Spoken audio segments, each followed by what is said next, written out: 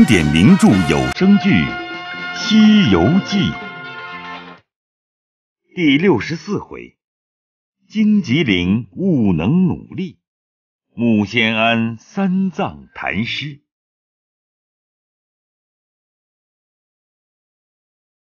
画表祭赛国王谢了唐三藏师徒获宝擒怪之恩，所赠金玉分毫不受。却命当家官照依四位常穿的衣服各做两套，鞋袜各做两双，绦环各做两条，外备干粮烘炒，倒换了通关文牒，大牌銮驾，并文武多官，满城百姓，伏龙寺僧人大吹大打，送四众出城，约有二十里，先辞了国王，众人又送二十里辞回，伏龙寺僧人送有五六十里不回。有的要同上西天，有的要修行服侍。行者见都不肯回去，遂弄个手段，把毫毛拔了三四十根，吹口仙气，叫变，都变作斑斓猛虎，拦住前路，笑吼踊跃。众僧方惧，不敢前进。大圣才引师傅策马而去。少时间，去得远了，众僧人放声大哭，都喊。的老爷，我等无缘，不肯渡我们呀！且不说众僧啼哭，却说师徒四众走上大路，却才收回毫毛，一直西去。正是时序一迁，又早冬残春至，不暖不寒，正好逍遥行路。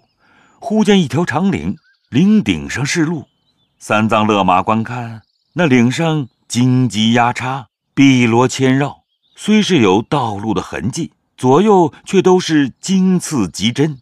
唐僧叫徒弟：“这路怎生走的？”“嗯，怎么走不得？”“徒弟呀，路痕在下，荆棘在上，只除是蛇虫伏地而游，方可去了。若你们走，妖也难伸，叫我如何乘马？”嗯嗯，不打紧，呃，等我使出爬山手来，把钉耙分开荆棘，莫说乘马，就抬轿也包你过去。你虽有力，长远难熬，却不知有多少远近，怎生费得这许多精神？哎，不许商量，等我去看看。将身一纵，跳在半空看时，一望无际，真个是撒地远天。凝烟带雨，家道柔阴乱，漫山翠盖章。密密搓搓出发叶，攀攀扯扯正芬芳。遥望不知何所近，近观疑似绿云茫。朦朦胧胧，郁郁苍苍，风声飘索索，日影映黄黄。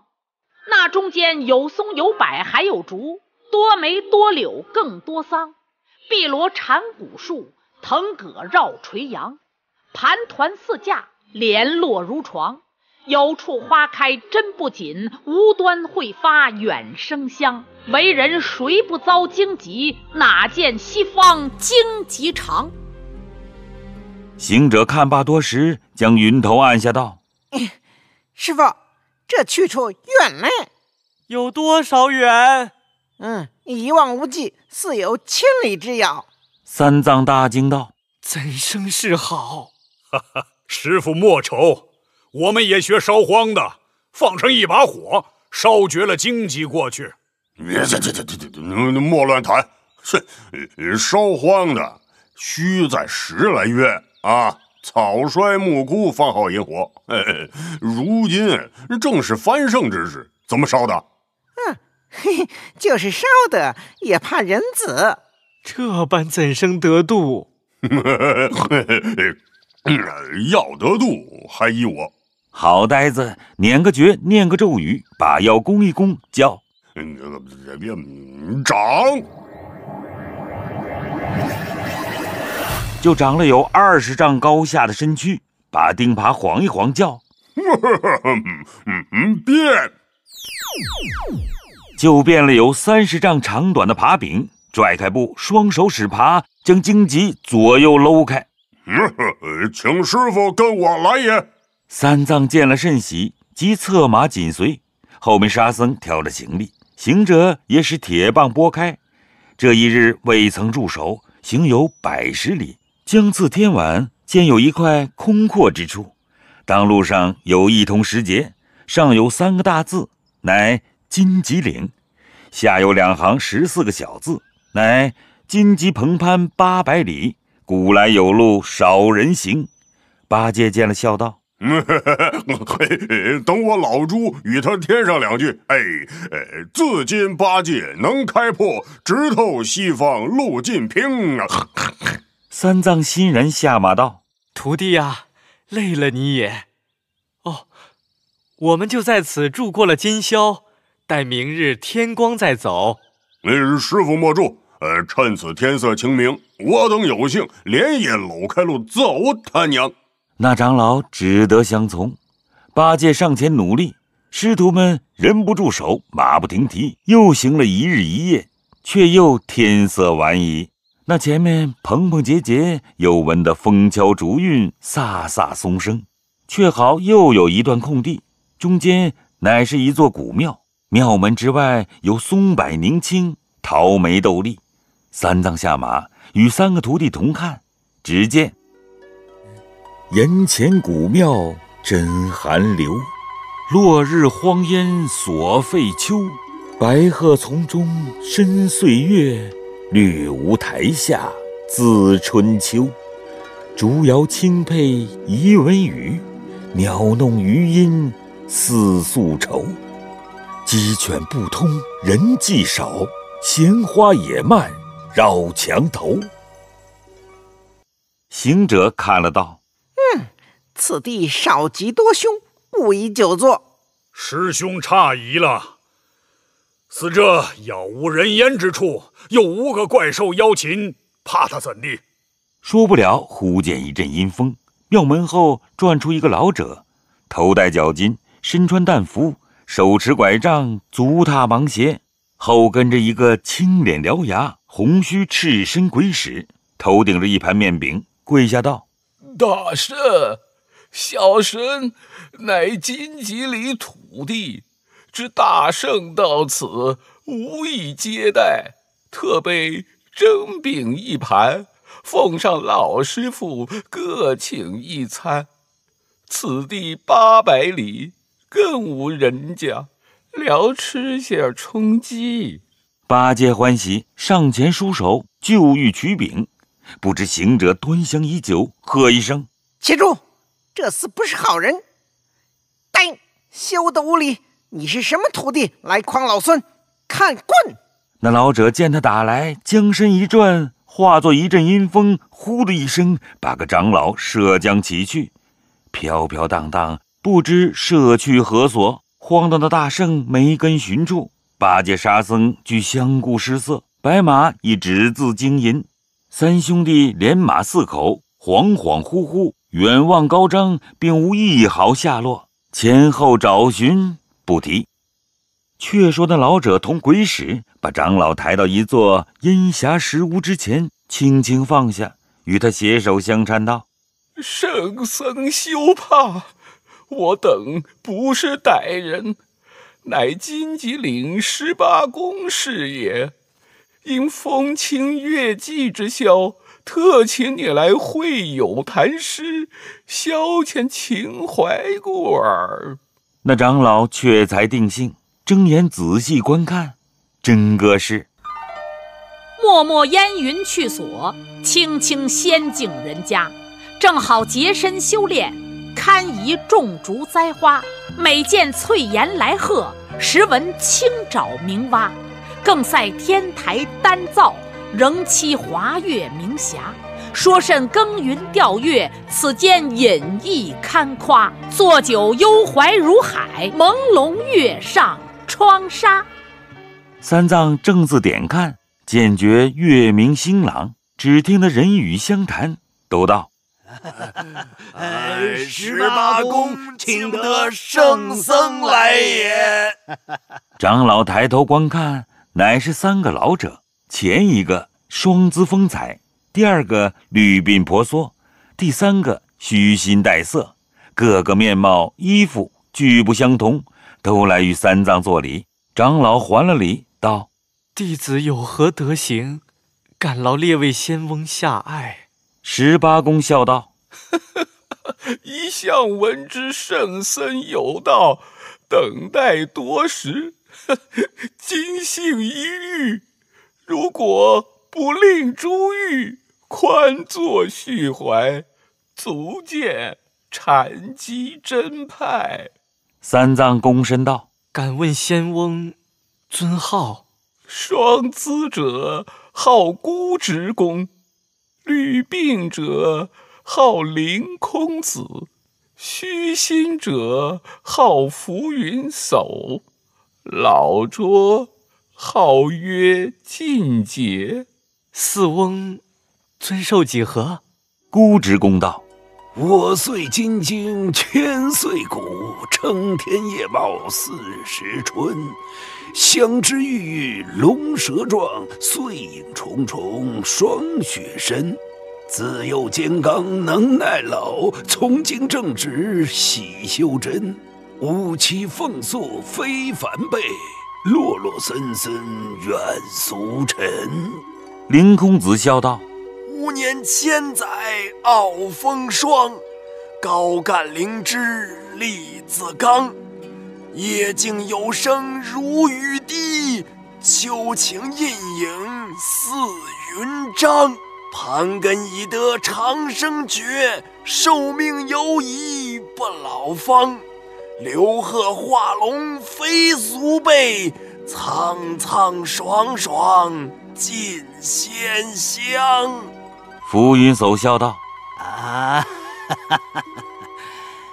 岁寒虚度有千秋，老景萧然清更幽。不杂消尘终冷淡，饱经霜雪自风流。七贤作侣同谈道，六艺为朋共唱愁。”佳玉敲金非所索，天然情性与仙游。尽节十八公笑道：“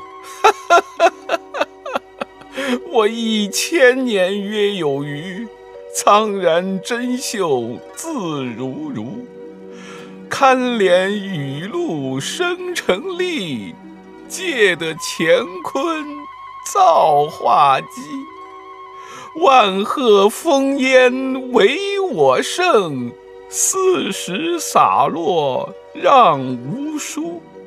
盖章翠饮留仙客，博弈调情讲道书。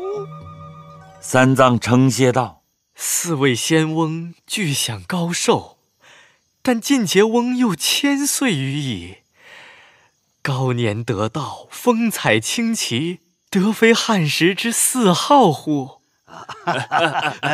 承过奖，承过奖。呃，吾等非四号，乃深山之四草也。呃，敢问圣僧妙龄几何呀？三藏合掌躬身答曰：“四十年前出母胎，未产之时命已灾。”涛声落水随波滚，幸遇金山托本骸。养性看经无懈怠，诚心拜佛感峨癌。亲蒙皇上差西去，路遇仙翁下爱来。四老贤称道：“哦，呃，圣僧自出娘胎即从佛教。”果然是从小修行，真中正有道之上僧也。嗯，我等信皆台言，敢求大教，望以禅法指教一二，足为生平。长老闻言慨然不惧。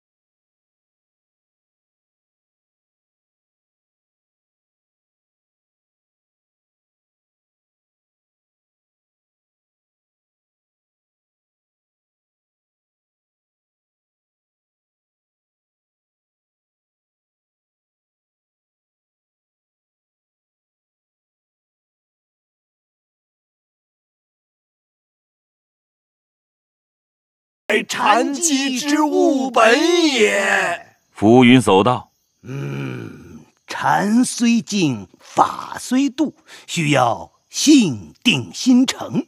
纵为大觉真仙，终作无生之道。我等之玄，有大不同也。道乃非常，体用合一，如何不同？”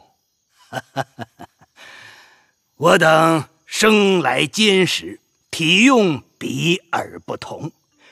感天地以生身，蒙雨露而姿色，笑傲风霜，消磨日月，一夜不雕，千枝节操。似这话不扣充虚，你直持梵语。道也者本安中国，反来求证西方。哼 空费了草鞋，不知寻个什么。石狮子弯了心肝，野狐弦贯彻骨髓。忘本参禅，妄求佛果，都似我荆棘岭葛藤谜语，裸裸浑言。此般君子怎生接引？这等规模如何应受？必须要检点见前面目，镜中自有生涯。梅底竹篮汲水，无根铁树生花。灵宝风头劳着脚，归来雅会上龙华。三藏闻言，叩头拜谢。十八公用手搀扶，孤之公将身扯起。林空子打个哈哈道。浮云之言分明漏泄，哎呀，圣僧请起，不可尽信。我等趁此月明，原不为讲论羞耻，且自银娥逍遥，放荡襟怀也。浮云叟笑指石屋道：“哈哈哈哈若要银娥，且入小庵一茶，何如？”长老真个欠身向石屋前观看。门上有三个大字，乃木仙庵。遂此同入，又续了座次。忽见那赤身鬼使捧一盘茯苓糕，将五盏香汤奉上。四老请唐僧先吃，三藏惊疑，不敢便吃。那四老一起享用，三藏却才吃了两块，各饮香汤收去。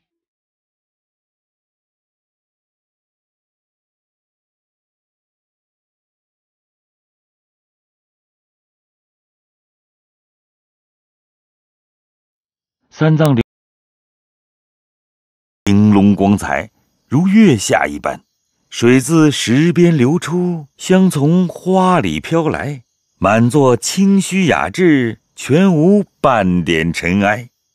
那长老见此仙境，以为得意，情乐怀开，十分欢喜，忍不住念了一句道：“禅心似月，迥无尘。”晋节老笑而极怜道。诗性如天，情更新。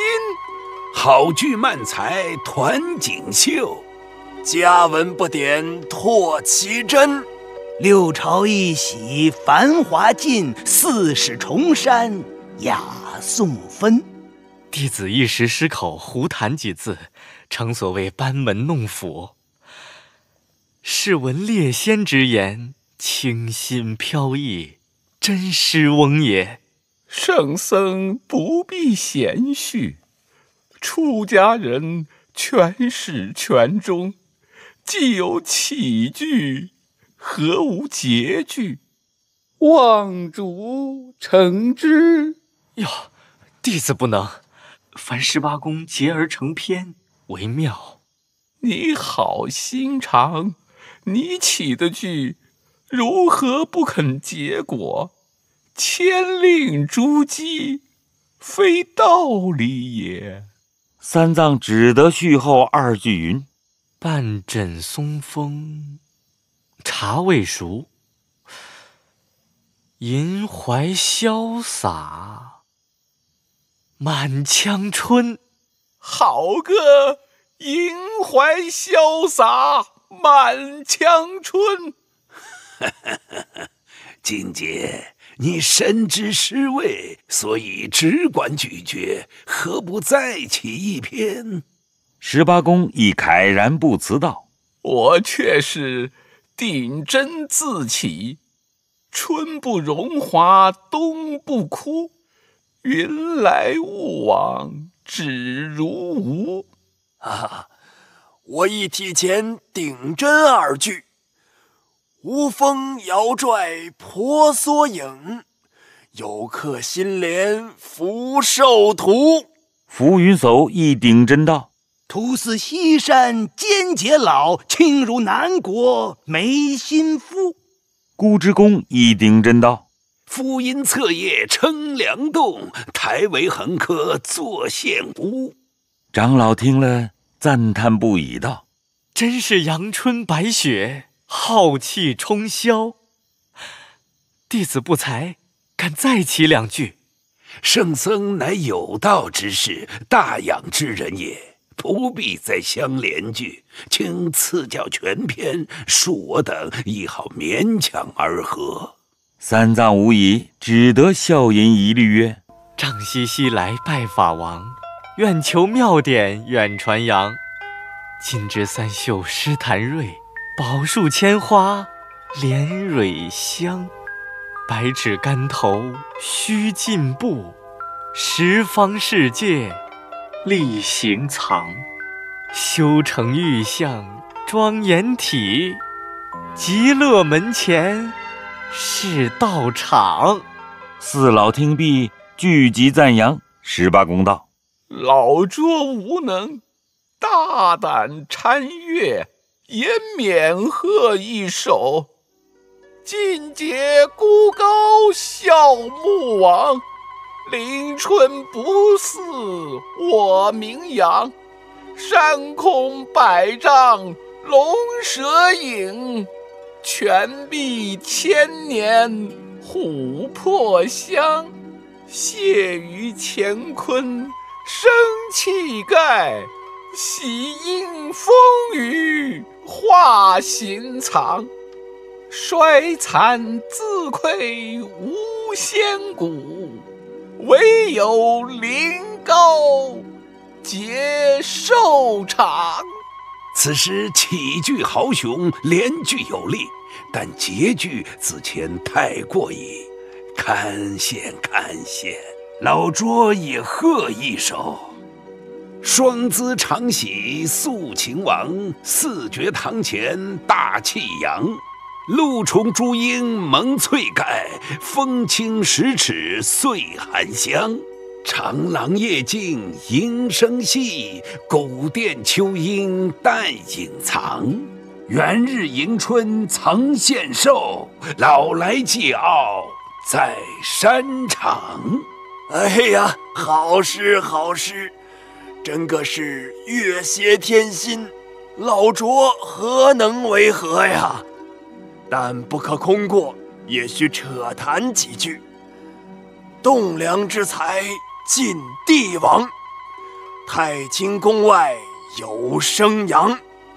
晴轩恍若来清气，暗壁寻常度翠香。壮节凛然千古秀。深根结已九泉藏，凌云世盖婆娑影，不在群芳眼里长。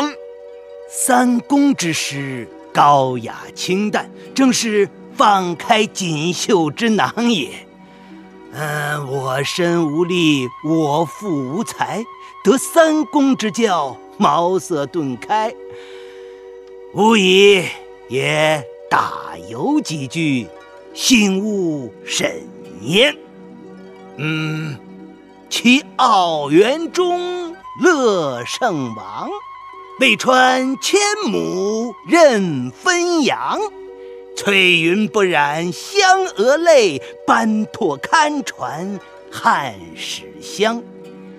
霜叶自来颜不改，烟烧从此色何藏？自有去世知音少，亘古留名，汉墨场。众先老之师，真个是吐凤喷珠，犹下莫赞。厚爱高情，感之极矣。但夜已深沉，三个小徒不知在何处等我。一者弟子不能久留，赶此告回寻访。啊，由无穷之至爱也，望老仙指示归路。哈哈哈！呃，圣僧勿虑，我等也是千载奇逢，况天光晴爽，虽夜深却月明如昼。呃，再宽坐坐，待天晓，自当远送过岭，高徒一定可相会也。正话间，只见石屋之外有两个青衣女童挑一对绛纱灯笼。后引着一个仙女，那仙女拈着一枝杏花，笑吟吟进门相见。那仙女怎生模样？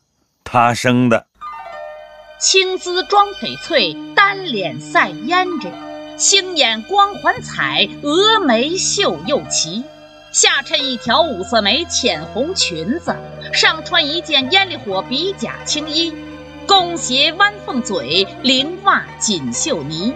妖娆娇似天台女，不亚当年俏妲己。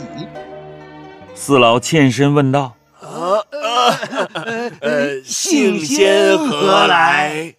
那女子对众道了万福，道：“知有家客在此耕愁，特来相访，敢求一见。”十八公指着唐僧道：“家客在此，何劳求见？”三藏躬身。不敢言语。那女子叫：“快献茶来！”又有两个黄衣女童捧一个红漆单盘，盘内有六个细瓷茶盂，盂内设极品一果，横担着匙儿，提一把白铁嵌黄铜的茶壶，壶内香茶喷鼻。斟了茶，那女子微露春葱，捧瓷盂先奉三藏，次奉四老，然后一盏自取而陪。林公子道：“性仙为何不坐？”那女子方才去坐，茶毕，欠身问道：“仙翁今宵盛月，家具请教一二如何？”浮云叟道：“哎，我等皆比礼之言，为圣僧真盛堂之作，甚可嘉羡。如不令教，岂次一官？”四老即以长老前师后师并阐法论宣了一遍。那女子满面春风，对众道：“妾身不才，不当献丑，但临此佳句，似不可虚也。勉强将后师奉和一律，如何？”上盖留名汉武王，周时孔子立坛场，董先爱我成邻居。孙楚曾怜寒食香，雨润红姿娇且嫩，烟蒸翠色显还藏。自知过熟微酸意，落处年年半麦场。四老闻诗，人人称贺，都道：“嗯，清雅脱尘，句内包含春意呀。好个雨润红姿，娇且嫩。那女子笑而敲答道：“惶恐，惶恐！试问圣僧之章，诚然锦心绣口，如不令珠玉赐教一阙，如何？”唐僧不敢答应。那女子见有见爱之情，哎哎呀呀，渐进坐边，低声悄语呼道：“家客莫者，趁此良宵，不耍子，待要怎地？人生光景能有几何？信仙竟有仰高之情，圣僧岂可无抚救之意？如不见怜。”是不知去了也。圣僧乃有道有名之士，绝不苟且行事。如此样举措，是我等取罪过了。污人名，坏人德，非远达也。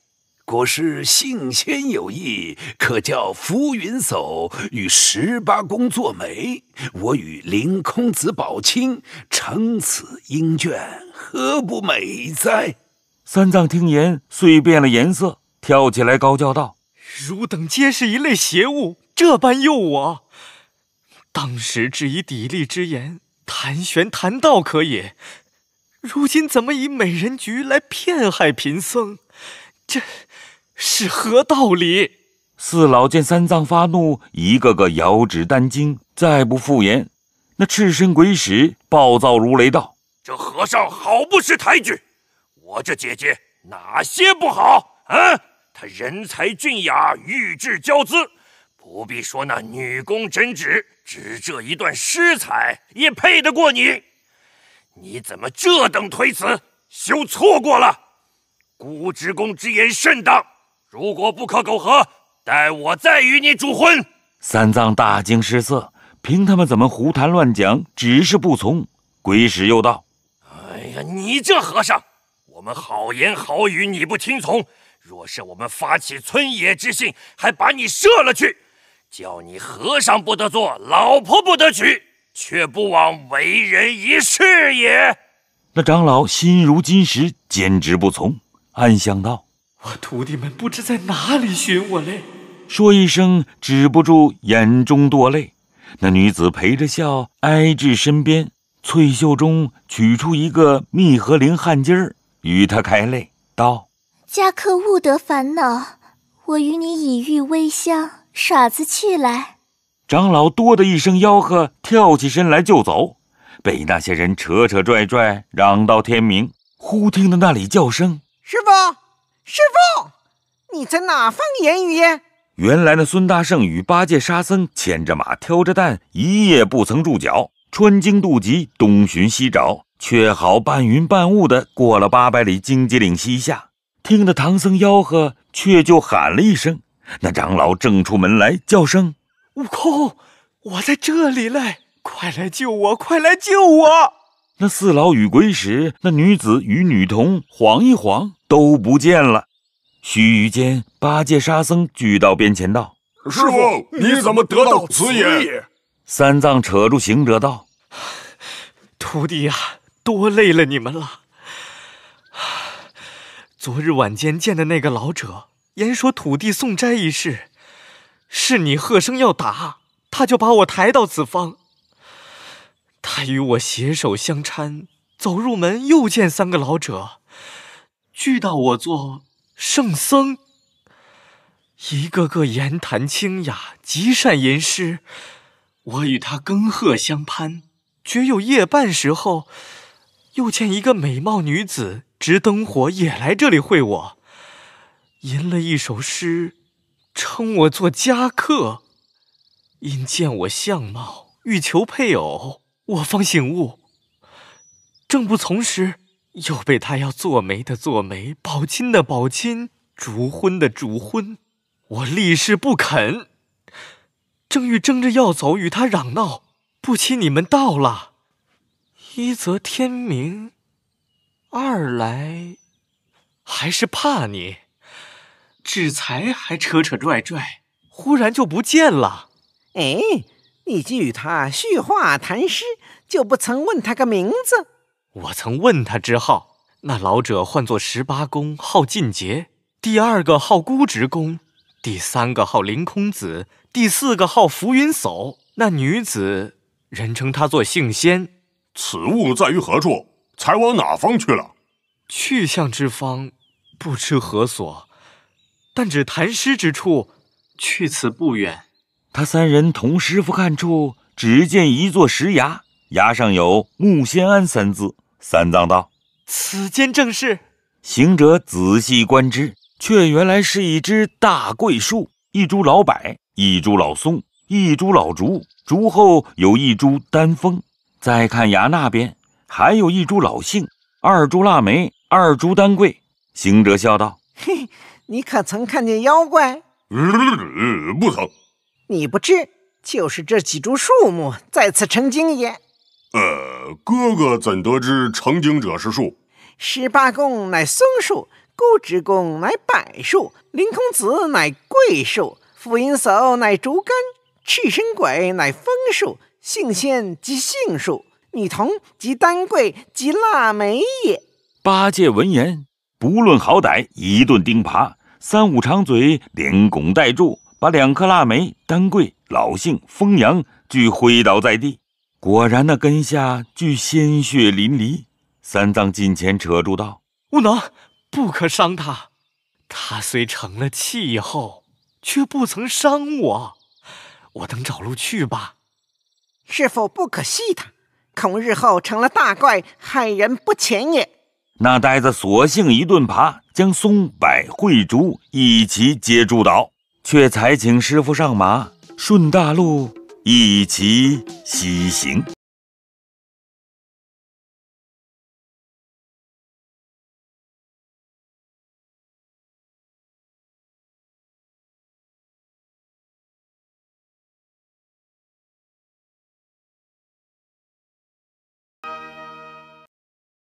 妖怪里也有文艺青年。喜马拉雅的朋友们，大家好，我是王刚，很高兴和你一起读《西游记》。在第六十四回“荆棘岭悟能努力，木仙庵三藏谈诗”这一回中，师徒四人途经荆棘岭，被荆棘挡住去路，后八戒施展本领，他们才得以过去。四人准备休整一晚再上路，没料想唐僧又被妖怪掳去了。但是这次妖怪把他掳去。竟然是想和他谈诗，后面又来了一个女妖怪，想和唐僧成亲，唐僧不从，最后这些妖怪被赶来的悟空、八戒一并铲除。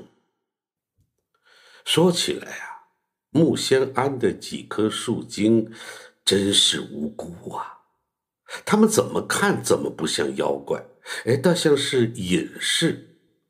虽然松树精和枫树精一起把唐僧掳来，哎，或者说是请来更准确些，但是啊，他们的目的并不是要吃唐僧肉，而是想邀请他来做嘉宾，开一个民间版的中国诗词大会。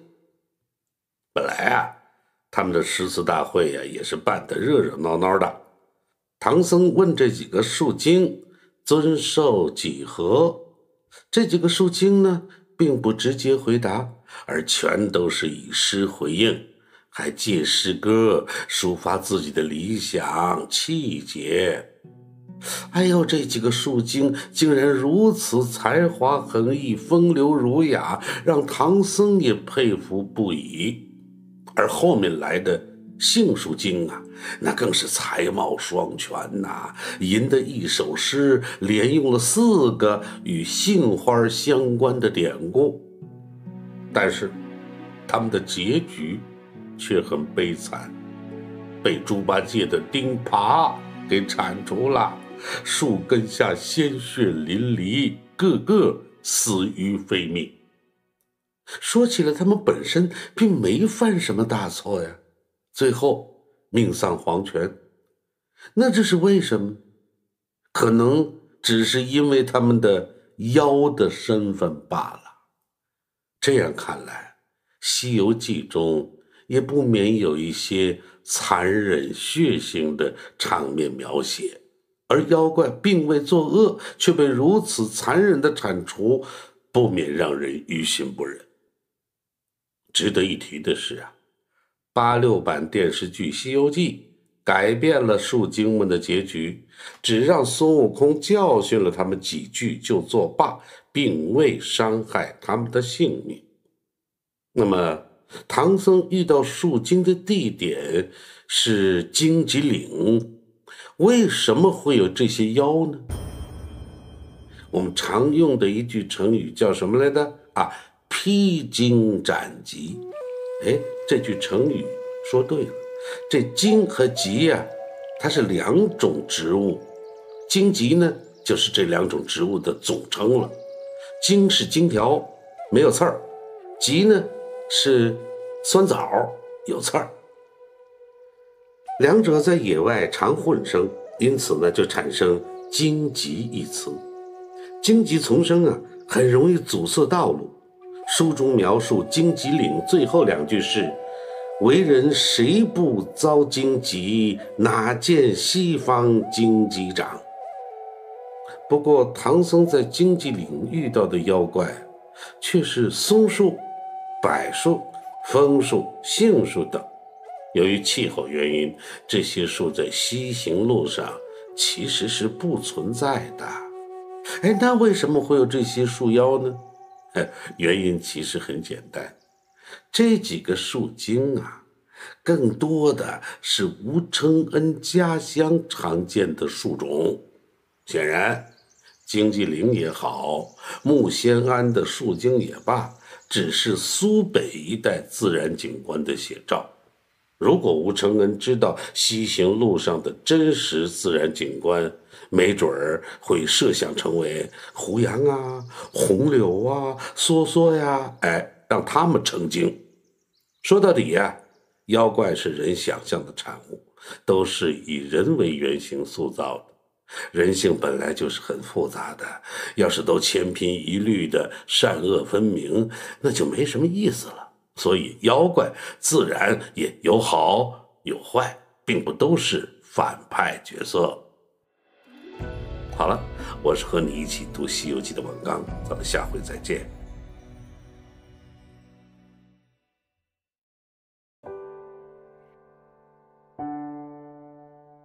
唐僧路过荆棘岭时，正是春天。春天是一个特别让人想聊天和抒情的季节，空气里有一股令人蠢蠢欲动的味道。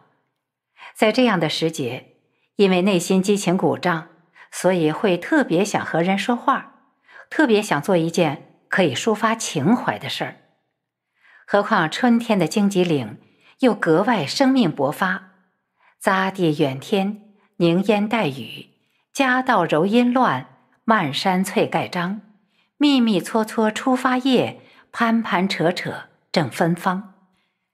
大自然的每个物事都在抒情。十八公他们想找人来谈诗说禅，实在是太好理解不过了。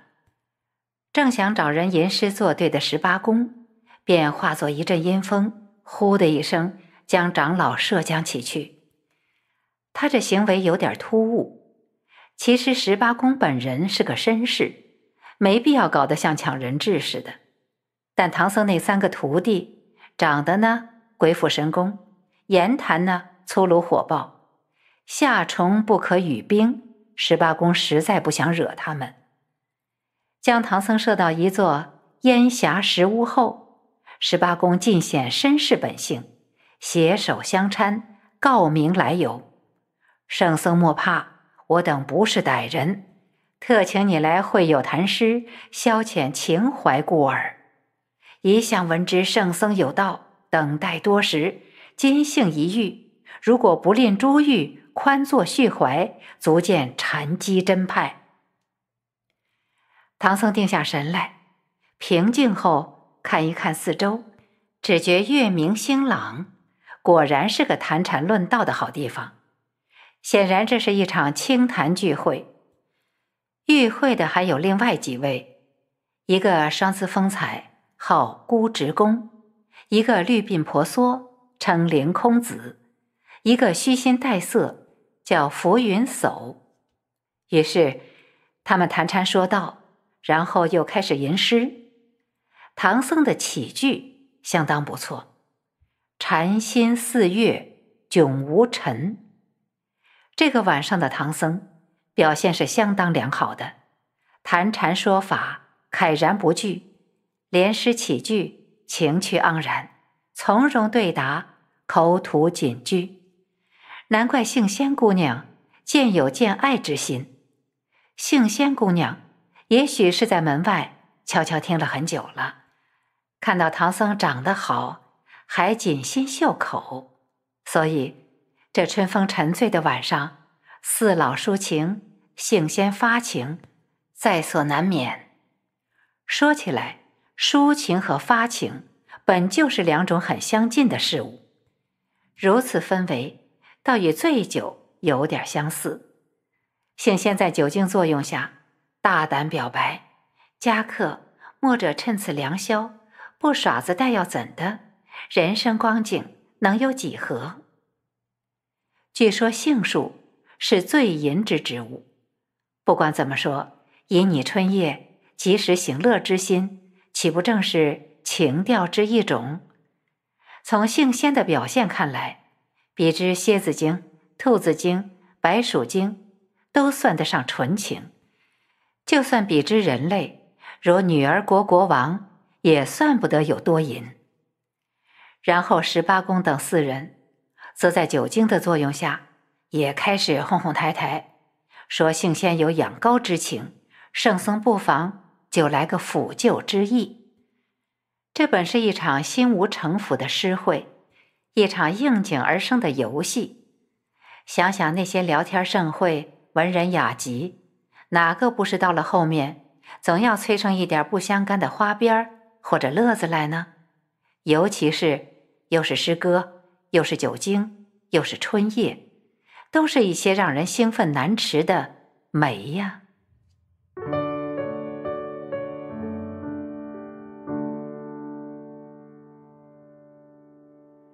说起来，荆棘岭上这几位雅士，算是《西游记》里最斯文的妖精。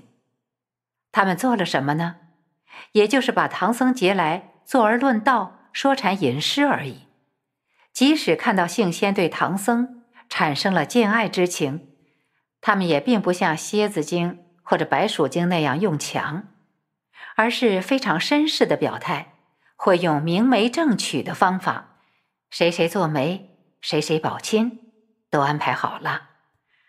圣僧乃有道有名之士，果是性仙有意，可叫浮云叟与十八公做媒，我与凌空子保亲，成此姻眷，何不美哉？但唐僧呢，适才还颇有酒逢知己千杯少的意思。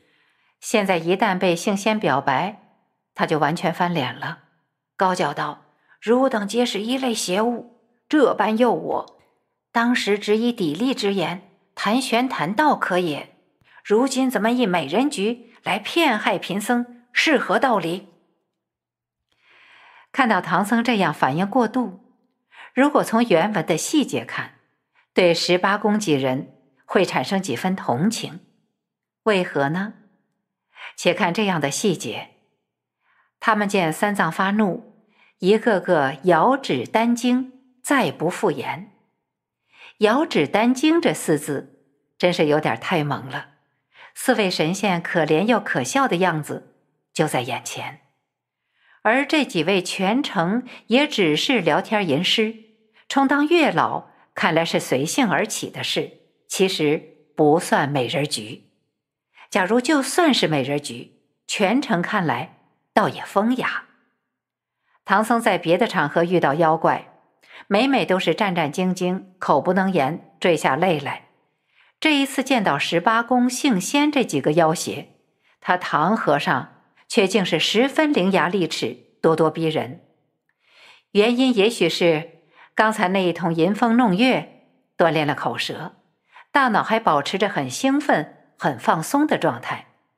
另外，人性是欺弱怕强的，唐僧也看得出来，十八公这几位文弱风雅，其实是没有杀伤力的。倒是那个赤身鬼使直率，那赤身鬼使暴跳如雷道：“这和尚好不识抬举，我这姐姐哪儿不好？”他人才俊雅，玉质娇姿，不必说那女工针指，着一段诗才也配得上你。到了这时，这几位风雅的妖精就迎来他们的悲剧了。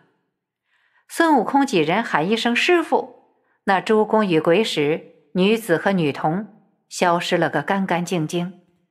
定睛一看，原地只留下松树、柏树、桂树。老竹、丹枫等等，猪八戒过来追加了一顿钉耙，连拱带锄，将他们全连根挥倒在地，果然根下俱鲜血淋漓。看到这里，想到刚才笑语阵阵，只觉十分残忍。当然，故事中人自然不觉遗憾，还要继续西行。好，感谢大家收听，我们下回继续。